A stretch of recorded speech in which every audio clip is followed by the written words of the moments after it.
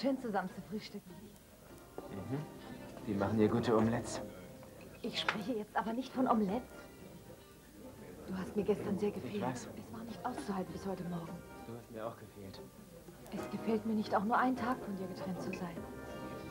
Also hin und wieder muss ich schon noch nach Hause gehen und da einiges machen. Weißt du, da sind die Pflanzen zu versorgen und die Post Ich weiß, ich weiß, aber warum erledigen wir so etwas nicht zusammen? Oh, du möchtest einmal die Woche bei mir Hausmädchen spielen, ja? Ich möchte gern, dass wir zwei zusammen wohnen. Dann braucht keiner mehr wegzugehen, verstehst du? Und es wird auch langsam Zeit, finde ich. Lass uns zusammenziehen. Oh, hallo, ich wollte dich doch vom Büro aus anrufen. Ich weiß, entschuldige wegen der Unterbrechung gestern, aber in Johnnys Restaurant kann man nicht in Ruhe reden. Wie gesagt, es handelt sich um eine heikle Angelegenheit. Hör mal, ich würde ja gern mit dir reden, aber ich kann nicht. Ich rufe dich wie vereinbart in der Das Mittagspause. ist keine Sache, die warten kann, Jeffrey. Oh, wenn es gestern nicht so dringend war, wieso sollte es jetzt auf einmal so dringend sein? Ich habe eine wichtige Verabredung. Die Verabredung, die ich für dich habe, ist weitaus wichtiger. Du wirst nicht daran zweifeln, wenn du erfährst, um wen es sich handelt. Äh, wovon sprichst du eigentlich? Es wird dich schockieren. Ich weiß nicht mal, wie ich es dir überhaupt beibringen soll. Schieß einfach los, Mason. Wen soll ich treffen? Unsere Mutter, Jeffrey. Sie ist am Leben. Sie sind eine sehr hartnäckige junge Dame. Entschuldigung, aber mir bleibt nun mal nichts anderes übrig. Äh, Mrs. Äh, Conrad, das Leben eines Mannes ist in Gefahr. Wenn Sie nicht bereit sind auszusagen, bedeutet das vielleicht sein Ende. Und es gibt keine Garantie, dass das nicht der Fall ist, wenn ich aussage. Hören Sie, Sie haben jemanden gesehen, einen Mann, er ist weggelaufen, kurz nachdem geschossen wurde. Das schon, aber ich habe nicht gesehen, ob der Mann auch wirklich aus dem Laser Palace gekommen ist. Also, wie kann meine Aussage Ihren Klienten entlasten? Vielleicht nicht entlasten, aber wenigstens könnten Sie einige Zweifel der Geschworenen ausräumen, Mrs. Conrad. Glauben Sie mir, ich weiß, wie Mason sich. Wissen Sie, er handelt in dieser Situation nicht wie ein Rechtsanwalt. Sie wiederzusehen, seine Mutter nach so vielen Jahren zurückzuhaben, das hat ihn einfach ins Schleudern gebracht und das verstehe ich.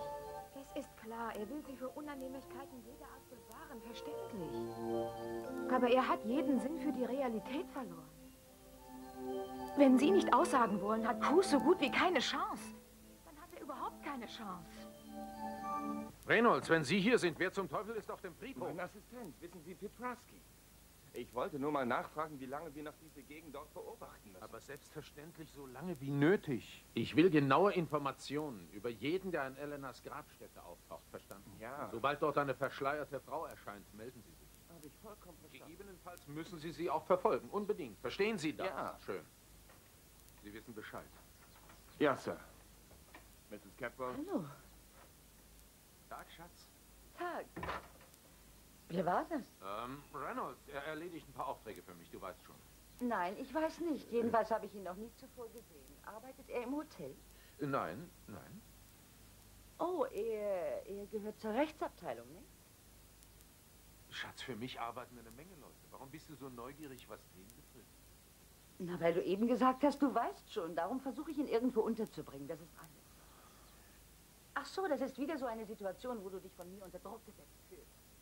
Machst du nicht ein bisschen zu viel daraus? Nein, Sophia? ganz und gar nicht. So langsam gewöhne ich mich daran, einen Raum zu betreten und irgendein Gespräch, das du gerade führst, zum Schweigen zu bringen. Tatsächlich. Du sagst, du hast einen Grund. Einen guten Grund, mir zu verschweigen, was hier in letzter Zeit vor sich geht. Und ich versuche, das zu akzeptieren. Außerdem versuche ich mich daran zu erinnern, dass ich dich ja liebe und dir somit vertrauen muss. Danke. Okay. Ich erwarte von dir eine Gegenleistung. Na schön. Was soll ich tun? Anfangen, wieder ein Mitglied der Familie zu werden.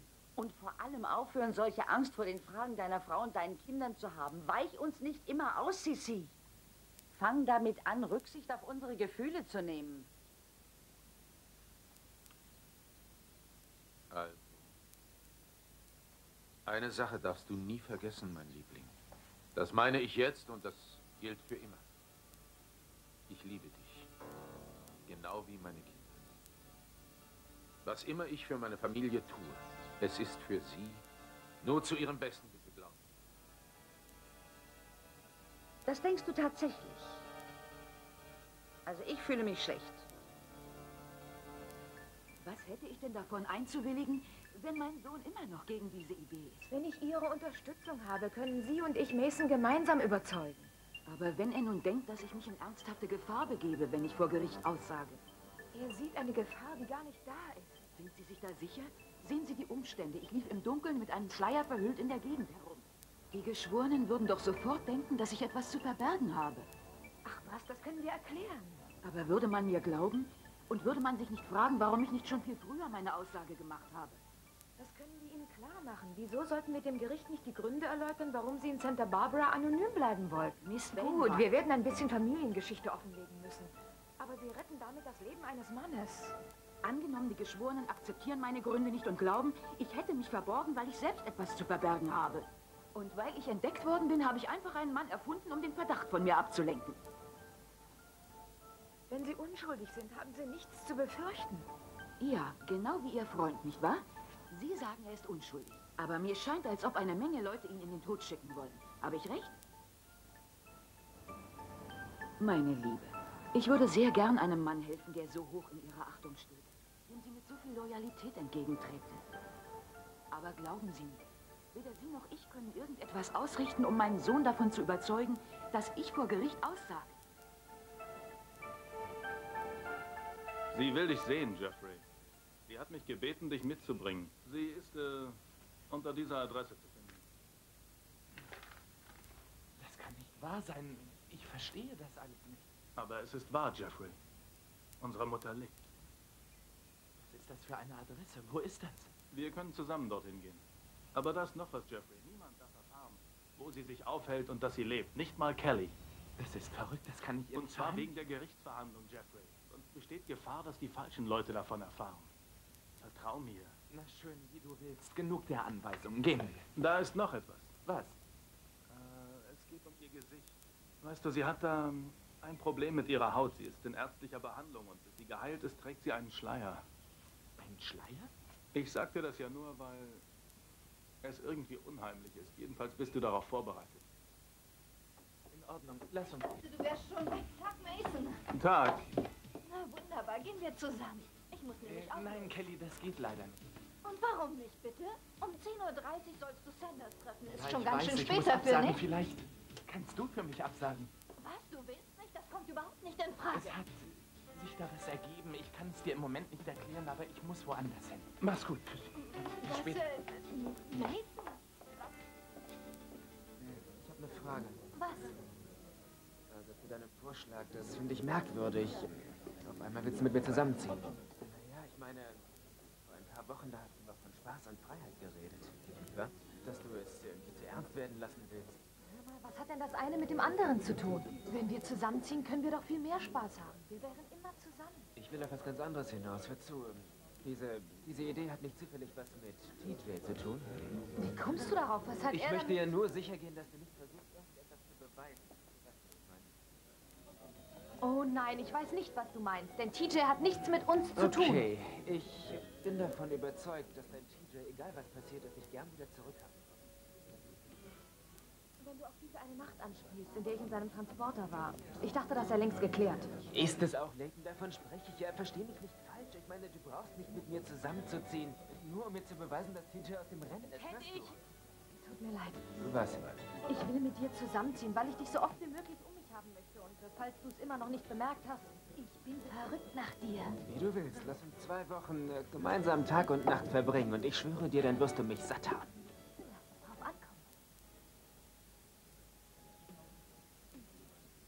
Gut, du hast mich überredet. Hab ich's doch wieder mal geschafft. Ich muss nur noch überlegen, ob ich so ohne weiteres meine kostbare Privatsphäre aufgeben kann. So ist das. Ich warn dich, Catwell. Du hast gleich das Messer zwischen den Rippen, wenn du kneipst. Alles klar, mein Lieber. Du hast es Schon versprochen. gut, schon gut. Ich packe meine Koffer. Ich gehe ja schon. Leg dich nie mit einer Frau an, die bewaffnet ist. Oh Mist, was mache ich denn? Um halb elf gehen meine Prüfungen los. Entschuldige. Und daran bin ich schuld. Jack, tut mir leid. Durch meine Paukerei habe ich dich die ganze Nacht wach gehalten. Ich hätte zur Bibliothek gehen sollen. Wenn du lernen musst, lernst du gefälligst. Ja, doch, besser in der Bibliothek. Nein, das geht nicht. Na, weil du dann nicht bei mir bist. Du sollst immer in meiner Nähe sein, vergiss das nicht. Okay. Am liebsten würde ich auch jetzt nicht gehen. Was soll's, ich muss. Wünsch mir Glück, okay? Na gut, viel Glück bei der Prüfung. Danke. Ruf mich an oder nein, erzähl's mir lieber, wenn du wieder da bist. Wie du willst, nur ich muss vorher noch bei Gina vorbei, um frische Wäsche abzuholen. Dann komme ich gleich nach Hause. Hör mal, ich kaufe uns ein paar Schränke. Ist doch verrückt, immer hin und her zu fahren, nur wegen ein paar Klamotten. Das ist in Ordnung. Ich mach's doch gern. Für dich.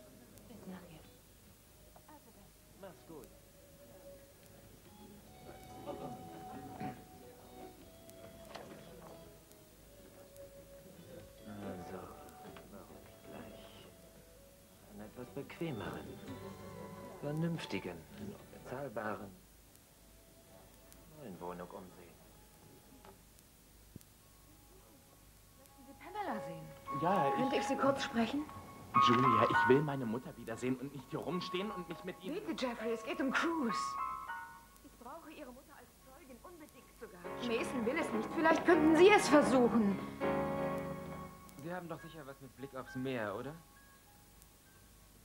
Ja, ja, sicher. Ein Schlafzimmer ginge. Noch besser wären allerdings zwei, um einen Arbeitsraum einzurichten. Ja. Gut, mal sehen, ob wir so lange warten können. Ich überleg's mir und ruf Sie dann später wieder an, okay? Die Nummer habe ich. Danke, wiederhören. Das macht dir nichts aus, oder? Das andere Telefon war besetzt. Nein, absolut nicht. Suchst du eine Wohnung? Ja. Was heißt wir? Ich meine, ob wir so lange warten können, was heißt wir? Na, Laken und ich. Du meinst ihr beide? Ja, wir ziehen zusammen. Das ist irgendwie schwer zu glauben. Wieso? Kaum aus einer missglückten Beziehung heraus stolperst du in die nächste oder was? Moment mal, Dad, wir sehen das auch nur als eine Art Experiment. Nur nicht, dass du glaubst, dass ich den gleichen Fehler noch einmal machen würde. Wessen Idee war das? Ich weiß nicht, wir waren uns plötzlich beide darüber einig, dass wir zusammen Also ich wette, es war Lakens Idee. Dad, wen kümmert's, wessen Idee Pat, es war? Die Kleine hat nur eins im Kopf. Sie ist hinter dir her, seit sie wieder bei uns in Santa Barbara ist. Sie ist fest entschlossen, dich zu bekommen. Das, das hört sich an wie eine Art Jagdexpedition. was denkst du denn, was das ist? Das Mädchen hat es geschafft, dass du deine Frau verlässt und hat nur im Sinn, dich zu heiraten. Sie ist drauf und dran, dich zu überrumpeln. Du kennst Laken doch gar nicht. Na gut, sie wirkt, sie wirkt vielleicht ein wenig oberflächlich, aber in Wirklichkeit ist sie sehr empfindsam, Dad.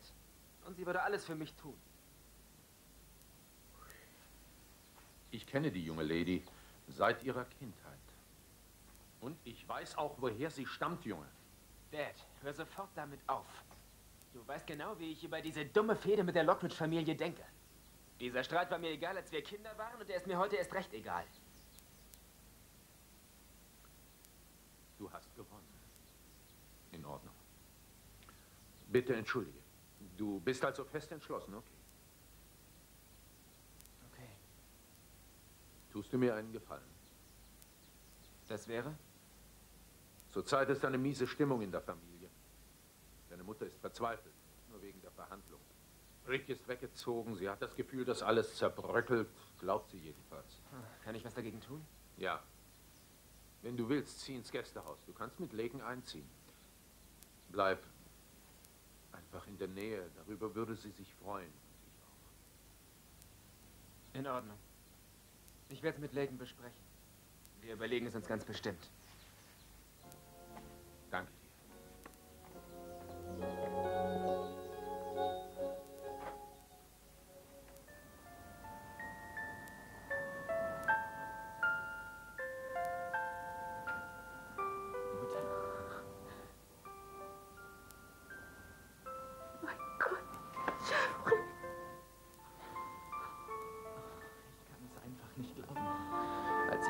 Von dir erzählt hat, wusste ich nicht, was ich fühlen oder denken soll. Ich kann dir gar nicht sagen, wie viel ich dir und Mason gern erspart hätte. Wenn ich, wenn ich doch nur... Du musst furchtbar gelitten haben. Verzeih mir. Als ich dachte, dass du dich umgebracht hast, da habe ich mich gefragt, was ich angerichtet hatte, was ich gesagt habe. Nicht, nein, mein Liebling, bitte gib dir keine Schuld. Ich, ich habe aus einer Schwäche heraus gehandelt. Es war ein großer Nein, nein, Fehler. nein, du warst krank, schwer krank. Du, du wusstest nicht, was auf dich zukommt. Wir beide nicht. Überleg doch. Jeffrey, es gibt immer Hoffnung. Wie du siehst, bin ich am Leben und gesund. Also, was soll ich sagen?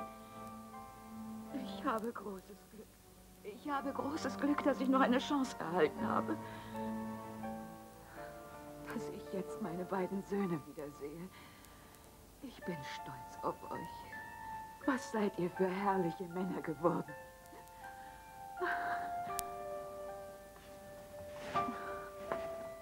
Jeffrey, du kannst dir gar nicht vorstellen, wie sehr ich euch vermisst habe. Ich habe so oft an dich gedacht. Jede Sekunde, jeden Tag. Und es gab so viele Stunden, die ich gern mit dir geteilt hätte. Als du nach Santa Barbara gezogen bist, da hatte ich solche Du weißt nicht, wie ich mich damals gefühlt habe, als ich diese Briefe schickte, in denen ich, in denen ich um Hilfe bat und nie eine Antwort erhalten Ich habe habe. zunächst Mason beschuldigt, bis ich dahinter kam, dass er nichts dafür konnte. Ich weiß es. Für eine Weile hatte ich großes Vergnügen daran, großes Vergnügen, mich an allen Capworth zu rächen. Dann habe ich Kelly kennengelernt. Sie, sie hat alles verändert. Sie ist äh, fantastisch, die wunderbarste begegnete. Ja, wirklich, sie wird dir gefallen. Wir haben vor zu heiraten. Ich äh, kann nicht glauben, dass ich hier mit dir sitze und wir uns unterhalten. Ich glaub's ganz einfach nicht. Ich, ich kann es auch noch nicht fassen. Oh, Jeffrey, Jeffrey, ich kann dir gar nicht sagen, wie sehr ich mich freue, dich so glücklich zu sehen. Und jetzt bist du wieder da. So hätte es immer sein. Oh, oh mein Sohn. Ich bin so froh, dich wieder zu haben.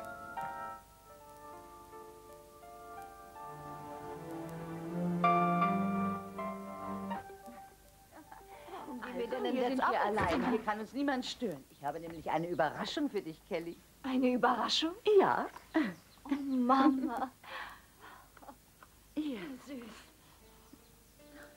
Oh mein Gott, Mami. Dazu muss ich dir etwas erzählen. Sie ist etwas Besonderes. Dein Vater hat sie mir geschenkt, als er mich heiratete. Sie stammt von seiner Mutter, deiner Großmutter. Mom, das ist das Wundervollste, was ich je gesehen habe. Schau nur, wie sie glänzt. Ich weiß, aber sie glänzt nicht so schön wie der herrliche Schimmer in deinen Augen, seit du Jeffrey kennengelernt hast.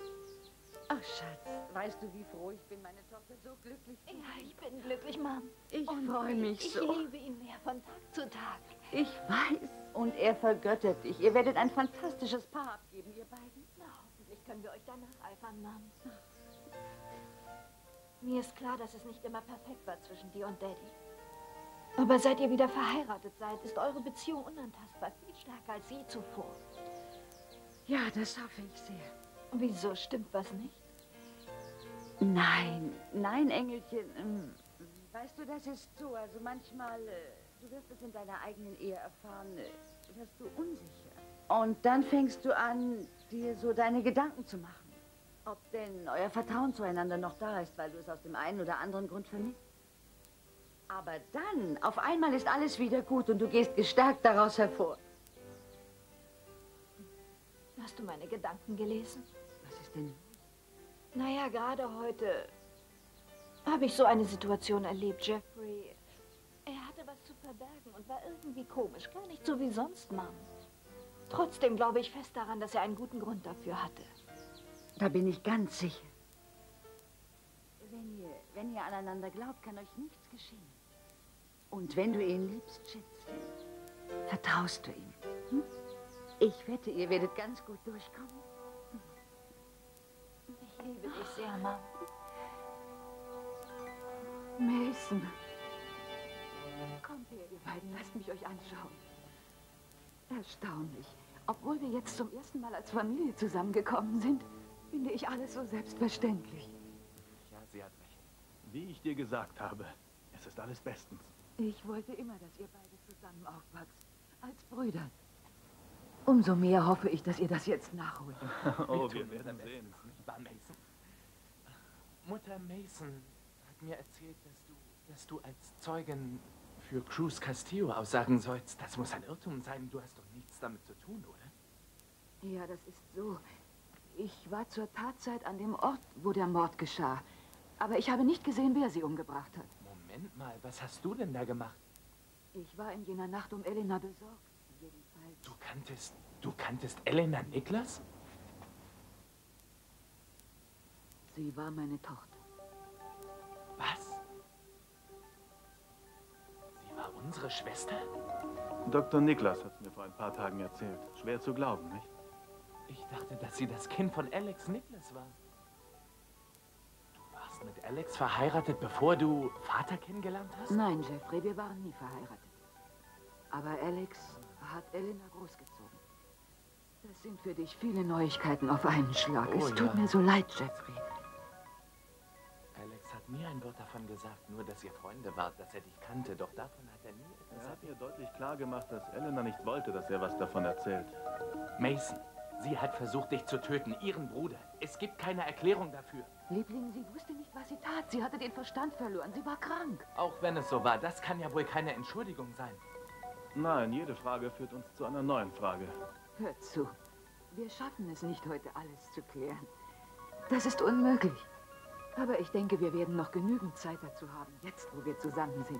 Äh, Ich muss jetzt leider zu meiner Verabredung mit Julia. Kann ich noch irgendetwas für dich tun? Nein, vielen Dank. Aber sie war vorhin hier. Julia? Ja, sie will unbedingt, dass ich aussage. Wieso denn? Du hast doch nicht gesehen, wer Elena getötet hat. Sie hat gesehen, wie jemand den Ort des Verbrechens verlassen hat. Wir wissen nicht mal, ob die Person darin verwickelt war, aber Julia glaubt, es ist ein Beweis. Du willst nicht, dass sie aussagt? Ich will Mutter nicht in die Situation bringen, dass der Verdacht auf sie gelenkt werden könnte, denn die Gefahr bestünde durchaus in diesem Fall. Stimmt, Mutter. Mason hat recht. Wir sollten es gar nicht erst so weit kommen lassen. Na, jetzt siehst du, warum wir ihren Aufenthalt hier geheim halten müssen. Wenn nämlich die falschen Leute erfahren, wo sie ist, bekommt sie eine Vorladung verpasst, der sie dann Folge leisten muss. Hey! Keine Verhandlung heute Morgen? Heute nicht, Lionel. Erst morgen wird uns wieder die Hölle heiß gemacht. Läuft wohl nicht so glatt mit hm? Es wäre schon nützlich, wenn mein Partner und ich darüber einig wären, wie man in diesem Fall vorgehen kann. Stell dir mal vor, Mason, ein fabelhafter Jurist, wirft er all seine fachlichen Instinkte geradewegs aus dem Fenster. Er hat immer behauptet, imstande zu sein, Gefühle aus dem Gerichtssaal herauszuhalten. Und jetzt macht er genau das Gegenteil, indem er eine rein Warte, ich, ich kann dir nicht recht folgen. Du musst schon etwas... Äh... Ich darf nicht über die Einzelheiten sprechen. Ich weiß nur nicht, wie lange ich es noch mit ihm aushalten soll, wenn ich es nicht schaffe, ihn zu überzeugen. Also, wenn du es nicht schaffst, ja, wer denn sonst, Julia? Ich weiß nicht. Manchmal denke ich, wir sind ein perfektes Team. Wir lieben unsere Arbeit. Wir tun sie beide sehr gern. Doch dann passiert so etwas und er wird zum starrköpfigsten Menschen der Welt und ich kann nichts tun, um seine Meinung zu beeinflussen. Tatsächlich? Äh, Hättest du was dagegen, wenn ich hier mal kurz den Anwalt spiele? hm? Wozu? Weil ich höflichst bemerken möchte, Miss Wainwright, dass Sie diese Qualitäten von Mason Capwell nicht überraschen dürften. Vorausgesetzt, dass Sie wirklich ehrlich mit sich selbst sind, äh, zugeben müssen, dass vielleicht äh, gerade diese Qualität von Mason Capwell der Charakterzug ist, der Sie am meisten herausfordert. Ja, mehr als das. Ich würde darüber hinaus behaupten, dass es genau das ist, was Sie am meisten anzieht. Wahr? Wie lautet die Antwort der Zeugin auf diese Frage? Vergiss es. Ich verweigere die Aussage. Hey, hey, hey.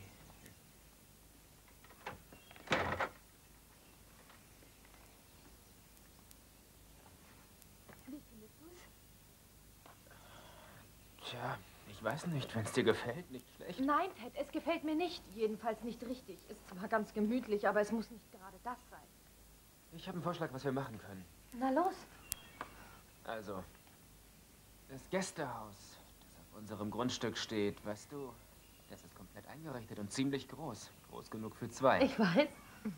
Tja, dass Haley und ich da gewohnt haben, stört dich nicht? Ach nein.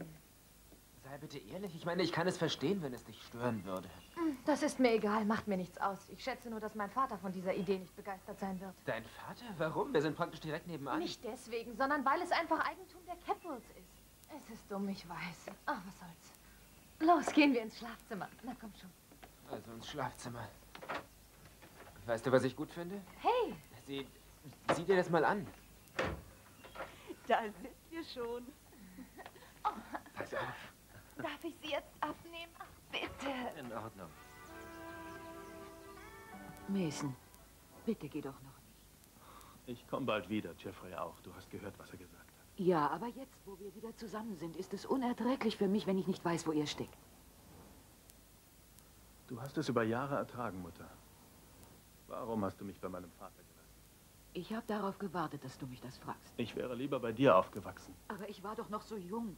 Sissi hatte alles. Geld, Macht, Einfluss.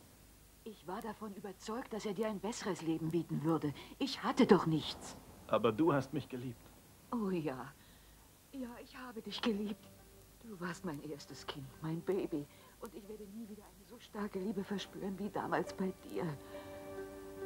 Er hat mich nicht geliebt, verstehst du? Er hat mich überhaupt nicht gekannt. Warum sagst du sowas? Weil es die Wahrheit ist. Ich war erst vier, aber ich konnte es in seinen Augen sehen. Damit hast du mich allein gelassen. Oh mein Gott. Oh mein Gott. Ich war so jung und so dumm. Du wirst mir wohl nie verzeihen und das kann ich verstehen. Ich habe dir vergeben, als ich dich sah. Tut mir leid. Es tut mir so leid. Nein, es tut mir leid. Weil ich damit angefangen habe. Was passiert ist, können wir nicht mehr ändern, darum lass es uns vergessen. Aber du hast dich all die Jahre so verraten gefühlt. Wir werden nie wieder darüber reden, Mutter. Wir fangen von vorne an. Und zwar jetzt. Wir fangen ganz von vorne an. Guten Tag, ich bin Rose Galloway, Immobilienmaklerin. Hallo, Ihre Stimme kenne ich ja nun schon. Also dieses Haus ist vermieten. Ja, mit einem fantastischen Garten. Es hat ein Schlafzimmer mit Terrassenfenster und riesige Schränke, wo wir alles unterkriegen. Äh, sieh dich einfach um. Jake, das ist ja ein wundervolles Oh, Haus. noch mehr als das. Es ist vor allem preiswert, denn Mr. Lopez ist, was dieses Haus betrifft, ausgesprochen großzügig. Los, ich zeige Ihnen mal den Garten. Den Garten. Ja.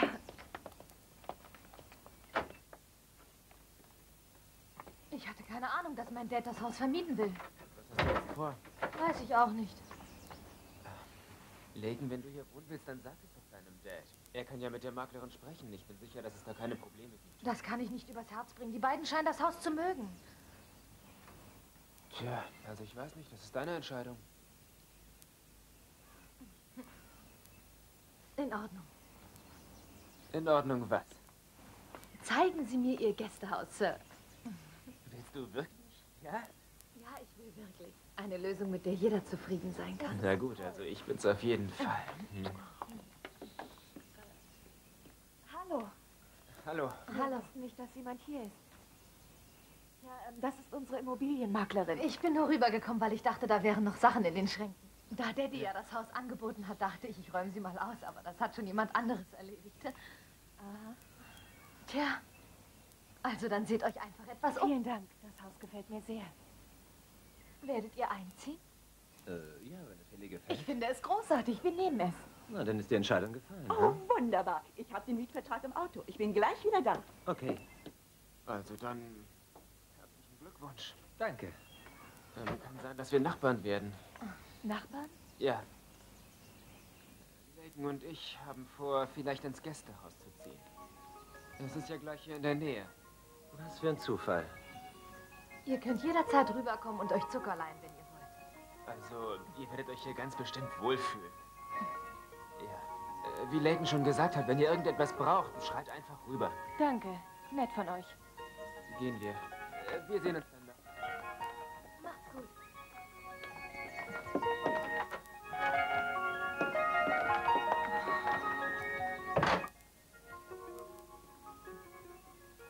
Alles in Ordnung? Ja, sicher. Meinung nicht geändert? Meinung nicht geändert.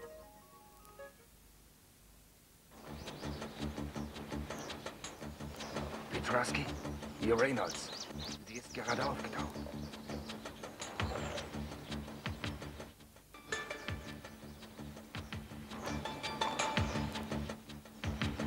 Sie ist in Begleitung. Behalten Sie sie im Auge, ich kümmere mich um ihn.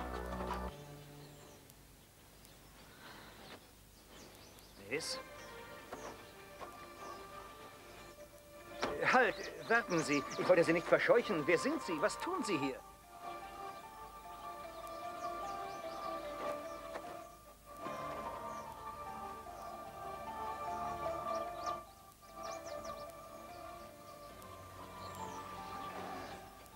Elena, das soll ein Ort der Ruhe und des Friedens sein. Und ich frage mich, ob du endlich etwas, etwas Ruhe und Frieden am Ende deines jungen Lebens gefunden hast. Habe ich denn Frieden gefunden? Ich habe so viele Fragen, die unbeantwortet bleiben. Entschuldigen Sie, Sir. Ähm, ich muss Sie sofort mitnehmen. Kommen Sie. Reden Sie mit mir? Was zum Teufel wollen Sie? Hey, hören Sie. Zwingen Sie mich nicht, Gewalt anzuwenden. Ich tu's glatt.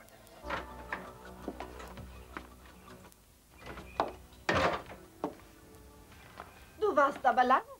Entschuldige, ich wusste nicht, dass es so lange dauern würde. Gab's äh, im Büro etwas Schwierigkeiten? Oh, sei froh, Sanders ist nicht da gewesen. Ansonsten war nicht viel zu tun, also war ich heute bei Mom. Oh, ähm, wie geht es ihr? Ganz gut. Mm, Das ist schön. Wo gehst du hin? Äh, was zu essen holen? Ich habe heute noch kein Mittag gegessen, Kelly. Du willst tatsächlich rausgehen, ohne mir zu sagen, wo du warst. Ich kann es dir nicht sagen. Ich kann nicht. Ich weiß, dass das alles sehr merkwürdig In der klingt, Tat aber merkwürdig. ich kann dir nur immer wieder versichern, dass ich dich liebe. Und gerade jetzt erwarte ich von dir, dass du mir vertraust. Weißt du noch, wir haben uns mal versprochen, dass es zwischen uns keine Geheimnisse Ich geben weiß, ich weiß und es wird bestimmt nicht lange ein Geheimnis bleiben. Verspreche dir, sobald ich kann, erzähle ich es dir und dann wirst du überrascht sein. Äußerst angenehm überrascht. Woher willst du das wissen? weil es mich sehr glücklich gemacht hat. Deswegen, Kelly. Na gut, ich versuche das zu verstehen. Spann mich nicht zu lange auf die Folter. Hallo Alex, schön, dass Sie gekommen sind. Was wird hier gespielt? Nun, wie ich hörte, hat heute eine richtige Party an der Grabstelle Ihrer Tochter stattgefunden. Ich weiß wirklich nicht, wovon Sie sprechen. Davon, dass Sie nicht allein dort waren. Sie wissen schon, die Frau mit dem Schleier. Sie haben mit ihr geredet. Wer war sie? Keine Ahnung. Machen Sie mir nichts vor. Sie haben sie doch angesprochen. Ja, das habe ich, aber dann lief sie weg. Reynolds, das war, als Sie und Ihr idiotischer Assistent sie verloren haben. Sie gehen wieder zurück zum Friedhof und halten die Augen offen, okay? Was ist denn daran so interessant, Sissi, dass Sie das Grab unserer Tochter überwachen? Ein Mann steht für den Mord an ihr vor Gericht, dem ich glaube, dass er unschuldig ist. Und für den Fall, dass vielleicht derjenige, der es getan hat, dort auftaucht. Hören Sie auf, Sissi, hören Sie auf zu lügen. Sie dürfen jetzt gehen. Ich glaube schon, dass Sie die Frau finden wollen, aber nicht, weil Sie sie des Mordes verdächtigen. Wer, glauben Sie, ist sie? Ich muss Ihre Frage nicht beantworten. Ich muss sie nicht mal anhören. Ich drohe niemandem. Ich habe keine Schlägertrupp. Sehen Sie, ich arbeite nicht so wie Sie. Ich frage mich, was Sie überhaupt noch in Santa Barbara machen. Ihre Forschungen sind in Misskredit geraten. Ihre einzige Tochter ist tot. Warum sind Sie überhaupt noch hier? Jemand muss Sie im Auge behalten, Sisi. Jemand muss dahinter kommen, wieso es für Sie so verdammt wichtig ist, eine tote Frau rund um die Uhr zu bewachen. Sehen Sie, ich habe eine neue Aufgabe. Deswegen werde ich nicht gehen.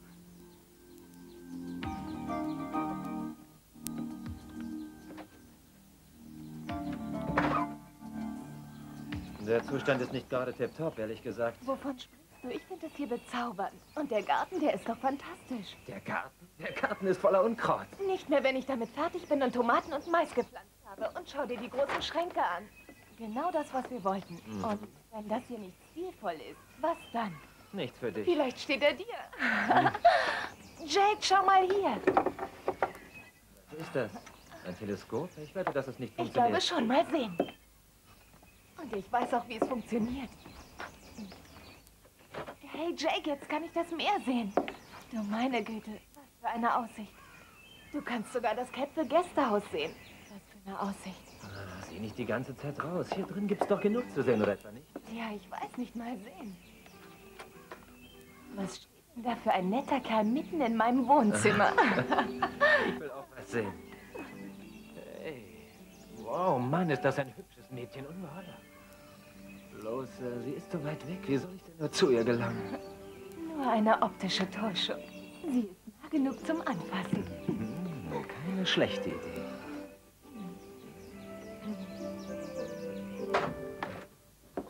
Tag. Jeffrey. In diesem Moment habe ich daran gedacht, Sie wollen doch nicht einfach alles aus den Händen fallen lassen und so früh gehen, Alex. Hallo. Naja, ich arbeite nur noch sehr unregelmäßig, seit Elena tot ist. Entschuldigung, waren wir verabredet? Bin ich zu spät gekommen? Nein, wir waren nicht verabredet. Ich wollte nur mal so nach Ihnen sehen. Ich Danke. wollte nur fragen, wie es so läuft. Danke, so nette Anteilnahme kann ich im Moment gut gebrauchen. Ja, nun, wir haben vor einiger Zeit Freundschaft geschlossen, als Sie mir erzählt haben, dass... Als Sie mir erzählt haben, dass Sie meine Mutter kannten. Eine bemerkenswerte Frau. Haben Sie ihr jemals etwas anvertraut? Denken Sie nach. Was? Was meinen Sie? Ich verstehe nicht, Waren worauf Sie vielleicht so nahe, dass Sie ihr etwas anvertraut haben, was Sie sonst keinem Menschen erzählt hätten? Sicher. Ja, natürlich, aber, aber warum? Weil Sie sehr verschlossen sind, Alex. Sie sagen, Sie sind mein Freund, Alex, doch ich wusste nicht, dass Sie eine Tochter hatten. Erst, seit sie tot ist. Warum, Alex? Jeffrey, sehen Sie, sie wollte einfach nicht, dass irgendjemand erfährt, dass wir miteinander verwandt sind. Das war eine irrationale Bitte, aber sie hat sich gegen Ende nur noch so irrational verhalten.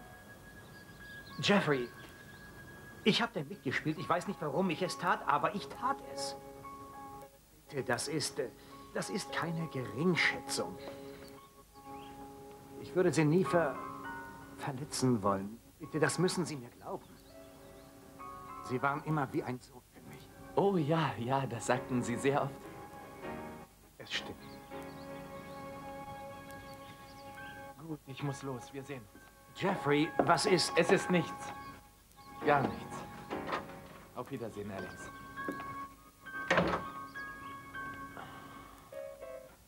Irgendwo hin? Richtig, ich gehe irgendwo hin. Zu dem Wohltätigkeitsessen. Ich habe dir schon davon erzählt. Wir können nicht absagen. Das tut mir leid, ich habe es vergessen. Ich habe dich daran erinnert, heute Morgen.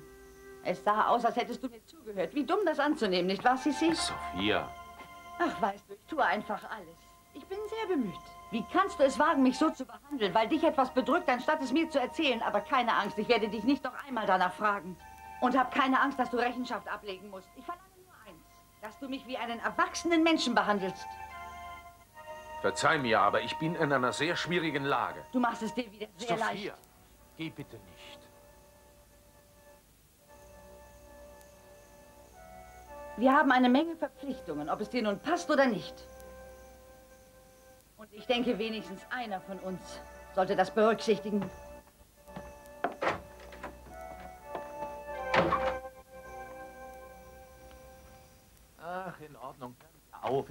Egal, wo wer sitzt. Hier fange ich noch an zu schieben. Liebling, beruhige dich.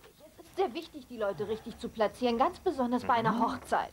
Weißt du, sowas muss man arrangieren, wie, wie Musik, um falsche Töne zu vermeiden. So fühlt man sich also, wenn man eine Sinfonie geschaffen hat. Ich gehe das Dinner bestellen, bevor ich hier noch völlig verrückt werde. Ist gut. Oh mein Gott, um Himmels Willen. Ich hätte doch fast Tante Winona vergessen. Wer in der Welt ist Tante Winona? Eigentlich ist sie meine Großtante. Lebt in San Francisco und wir sehen uns nicht allzu oft. Aber sie ist wundervoll, Jeffrey, und sie ist eine fabelhafte Künstlerin. Sie war übrigens diejenige, die mich dabei unterstützt hat, auf die Kunsthochschule zu gehen. Lass mich auf die Liste schauen. Zeig her. Die Liste lad sie einfach ein. Es mangelt doch nicht an Plätzen, oder? Aber ich will, dass sie einen guten Gesprächspartner in der Nähe hat. Wieso stellst du dich so an, Jeffrey? Ich stell mich doch nicht an. Ich. äh, Ich sehe nur nicht ein, wegen der Sitzordnung einen Riesenwirbel zu machen. Hm? Bitte schön. Vielen Dank. Aber das habe ich doch ganz anders gesagt. Mama sollte neben You sitzen, aber ihr Name fehlt hier. Du hast ihn doch nicht ausradiert, oder? Nein, warum sollte ich denn Ihren Namen ausradieren? Weiß nicht, vielleicht weil du ein bisschen verwirrt bist. Ich bin nicht verwirrt, nur weil ich da vielleicht einen Fehler gemacht habe, hä? Du hast ständig deine Meinung geändert und mich radieren lassen. Erst links, dann rechts. Hast du einen Platz für Tante Winona gefunden? Ja. Dann kann ich ja jetzt das Dinner bestellen gehen. Bin bald zurück.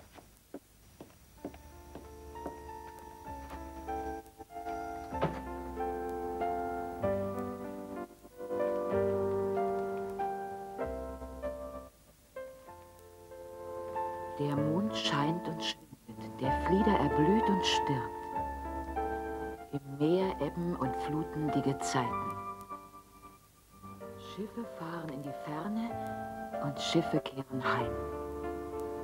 Schiffe gaben ihr Letztes hörten auf zu sein. Du kannst meine Mutter nicht ohne meine Erlaubnis vorladen, Julia. Ich werde das tun, was ich moralisch für richtig halte. Unsere Stärke besteht darin, dass wir zusammenhalten. Als Anwaltspartner müssen wir in jeder Kleinigkeit übereinstimmen. Wie stellst du dir das vor, wenn wir uns nicht einig sind? Wir schließen einen Kompromiss. Da gibt es keinen Kompromiss. Pamela geht entweder in den Zeugenstand oder nicht. Da gibt es kein Dazu. Wir gewinnen auch ohne sie. Hör zu, als Crews Anwältin fühle ich mich verpflichtet, eine optimale Verteidigung für ihn vorzubereiten. Und dazu schöpfe ich alle Möglichkeiten aus. Wie ich den Fall einschätze, schließt optimale Verteidigung die Aussage deiner Mutter mit ein. Verstehst du? Das schulde ich meinem Mandanten. Und ich schulde das umso mehr einem Mandanten, der mir zufällig auch noch ein aufrichtiger, treuer Freund ist. So werden wir uns nicht einig, Julia.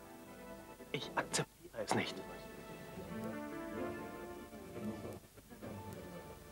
Ich mache dir einen Vorschlag. Zieh dich aus dem Fall zurück. Weil du nicht die Interessen deines Mandanten siehst. Sonst zwingst du mich dazu, den Richter zu ersuchen, dich vom Prozess auszuschließen.